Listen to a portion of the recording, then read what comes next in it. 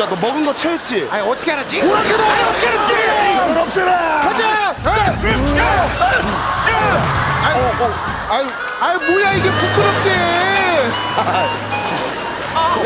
비키니. 아유, 씨. 아유, 진짜, 대체 나 핀정상에서 갈 거야, 나 지금. 가긴 어딜 가? 내놔!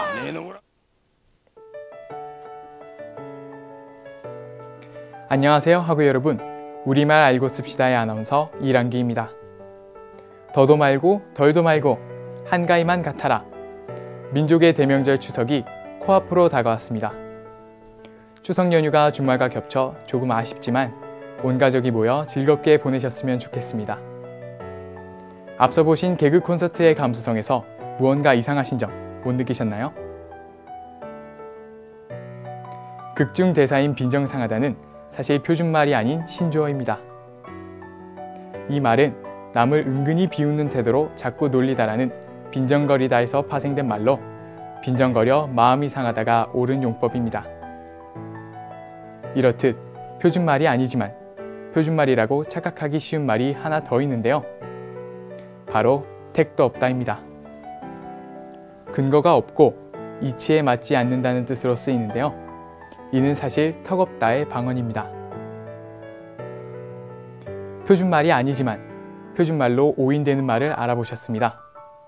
그렇다면 표준말이지만 표준말이 아니라고 오해를 받는 말은 무엇이 있을까요?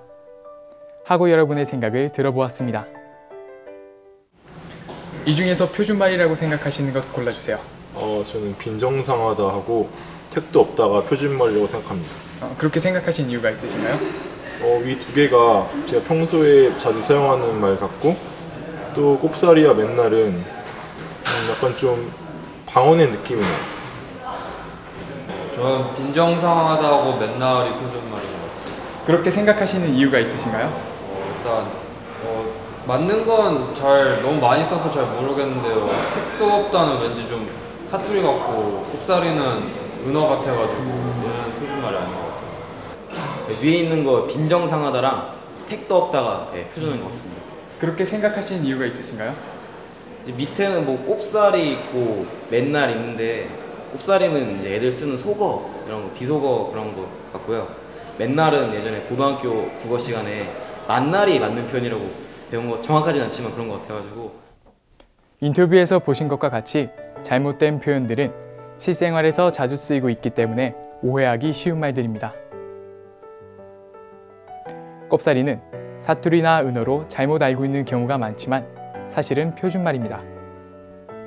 꼽사리를 끼다, 꼽사리를 붓다로 쓰이며 남이 노는 판에 거저 끼어드는 일이라는 뜻입니다. 맨날은 만날의 잘못된 표현이었지만 최근 복수 표준말로 인정된 말입니다.